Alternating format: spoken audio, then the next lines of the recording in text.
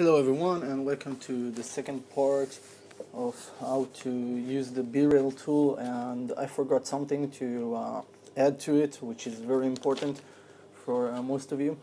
And I will just uh, do it quick so you will understand what I'm trying to say here.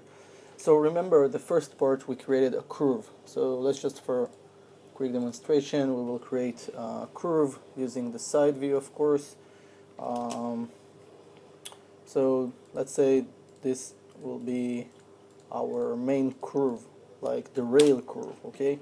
And as I told you um, earlier uh, you can duplicate it and use this for the upper part of the mesh you want to eventually create. But what if um, you don't want to use the same uh, curve as the upper part? So let's create another one and this one will be something more of like this one okay?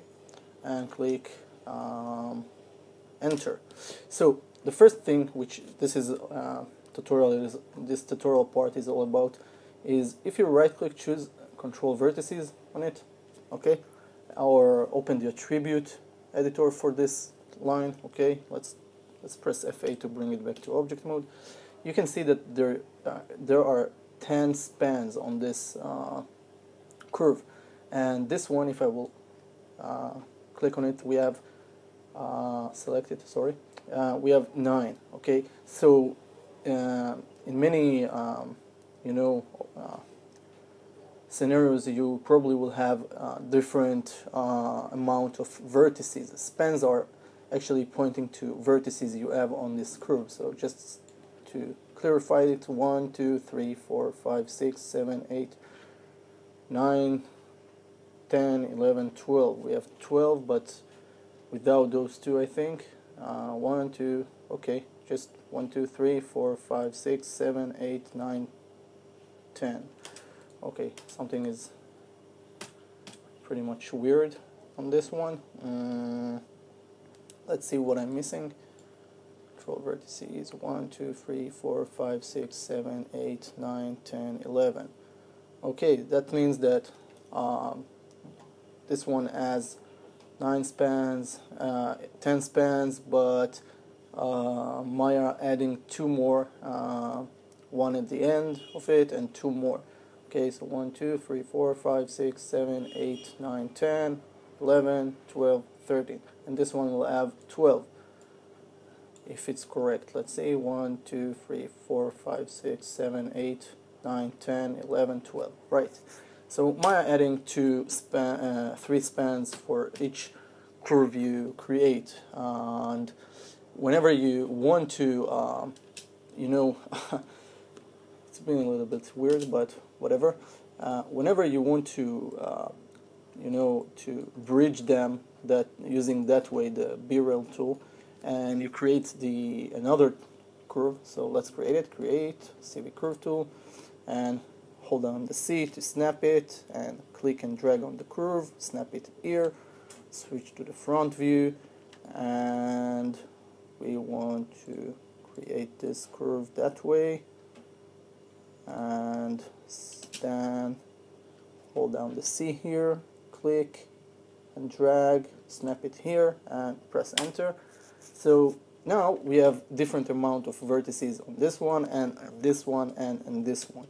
So basically when you want to create a you know a good topology for something you need to consider these uh, things so uh, to take them in mind you know so in order to um, uh, fix this issue so whenever we uh, eventually use the Birail tool we want those two, which are the rails one, to have the same amount of uh, vertices. So this is why we have this rebuild curve tool, which I already presented in one of my tutorials, but let's do it again. You can uh, approach it over edit curve, rebuild curve, and click this cube here, okay? And then you just need to uh, type in how much uh, spans you want to have on this curve. So this one we want to have 14. okay so rebuild. Now in this one we want to have the same amount. By the way you can check it. Now that I'm selecting it it says 14 here. Okay this one is 99 okay so we can go over edit curve rebuild curve click on this and type in the same amount and rebuild it. Now for this one you also want to make sure how much how many sp spans you want to have on it. So you can also edit this one rebuild curve click on this and type in something like 9 okay? Rebuild. And now it has 9 spans. Just to see if it's right okay?